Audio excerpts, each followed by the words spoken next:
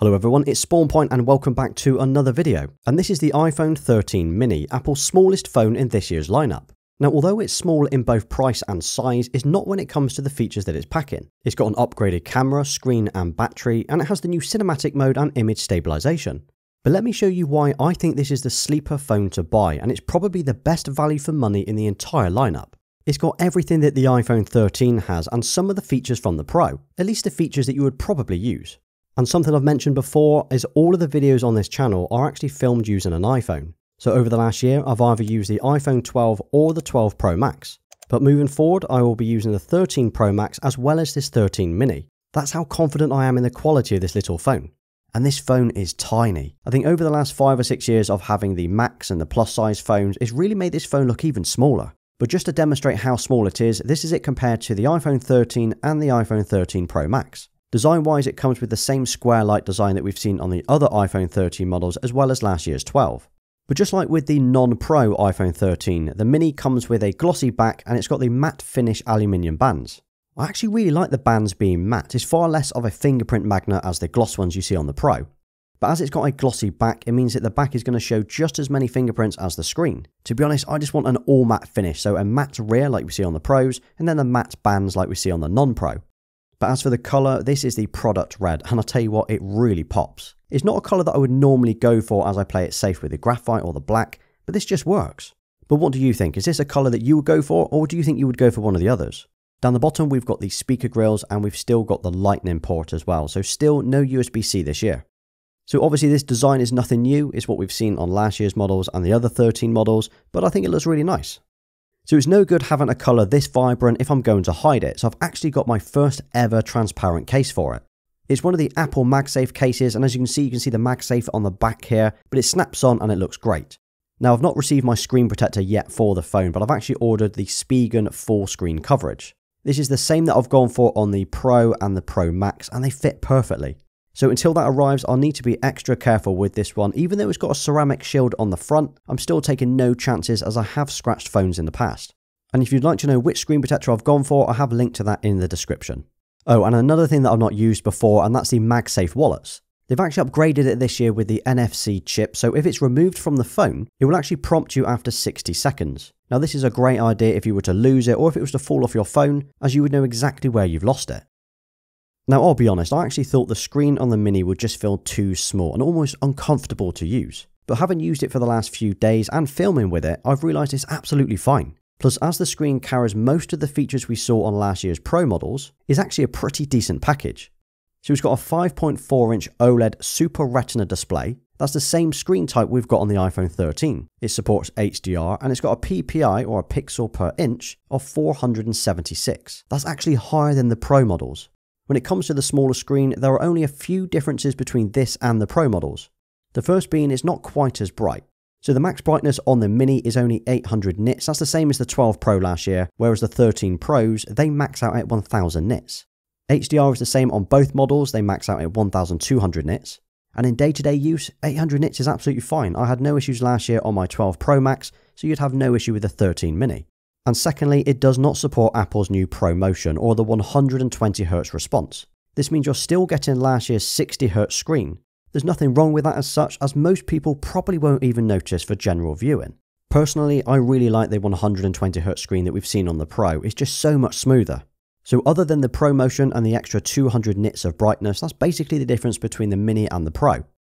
Well, spec-wise, the 13 Mini once again matches and slightly improves upon last year's 12 Pro. It's got a new A15 chip, 6 core CPU, and 4 core GPU. It's actually a step up from the 12 Pro and a step down from the 13 Pro. The fact that I'm even comparing this 13 mini to the 12 Pro tells you just how good this little phone is.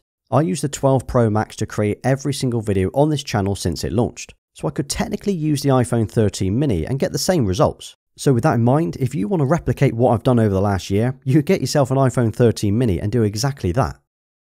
But the biggest difference between the Pro and the non-Pro models, especially the 13 mini, is the camera setup. So like with the normal iPhone 13, well the mini comes with just two lenses, which have had a new arrangement on the back. We've got the wide f1.6 aperture lens and the ultra-wide f2.4 lens. Now the quality of the photos that I've taken with these lenses have been incredible. Not only looking at them back on the screen, but viewing them on my Mac as well.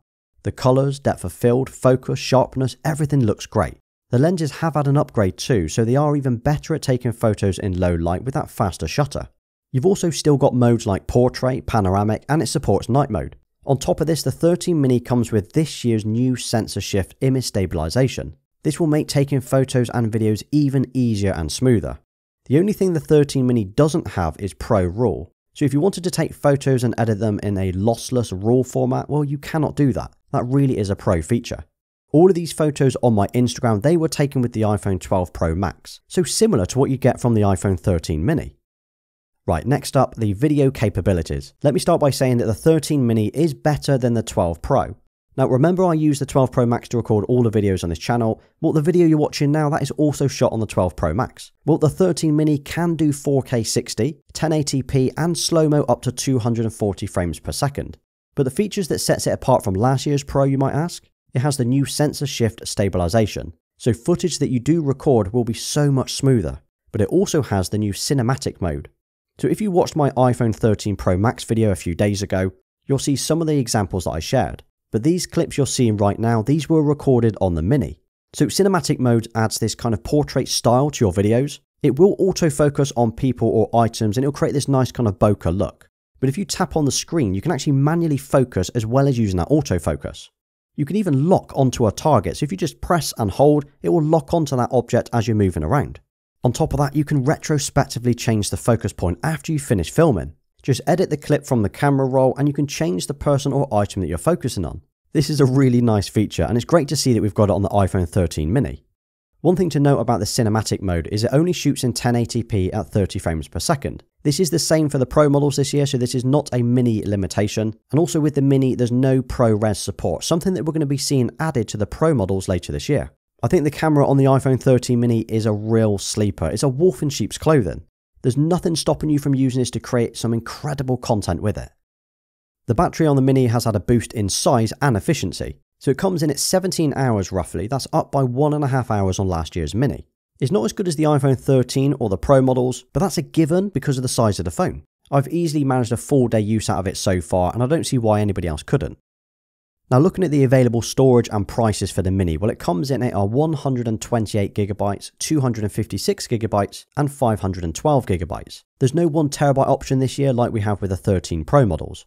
Prices are on screen now for the different sizes and considering what this phone is packed with and all the features we've gone over today, is not bad at all. So how does the iPhone 13 mini compare to the iPhone 13 Pro? And is it really worth getting? Well, the main difference between the two, other than the obvious size, include the telephoto lens, 120Hz screen, the battery capacity, and Pro RAW and ProRes support. If those are features that you don't need or use, the Mini is an awesome buy. And if you were wondering what you get in the box, well, it's exactly the same as the 12 models and the 13 Pro. It comes with the phone, a USB C to Lightning cable, a SIM card remover, and the Apple stickers. And just like with the 12s, there's no power brick or plug, you will need to buy one of those separately if you need one. Okay, so my final verdict on the iPhone 13 mini. And I'll tell you what, I think this is the phone to buy if you don't need the Pro features. It's the cheapest in the range and it's tiny. I think I would actually call this phone the iPhone 12 Pro Mini because it's packing most of the features from the Pro model last year and it's got some extras thrown in. But what about you? Which size would you go for? Do you think the 13 Mini is too small? Or are you more inclined to go for the normal 13 or the Pro models for those extra features? And that was a quick look at the iPhone 13 mini. So we're so used to having large phones now. Every phone each year gets larger and larger. And this is obviously the smallest phone and probably one of the most feature packed smallest phones you can actually buy. But you've made it to the end of today's video, so thank you for watching. And if you drop an iPhone mini with that little Apple icon if you can in the comments, I will give you a thumbs up for staying until the end. And don't forget to hit that like button, subscribe to the channel and turn notifications on so you don't miss my next upload. You can also follow me over on Instagram and Twitter where I am trying to be a lot more active. Thanks for sticking around, and I'll see you next time.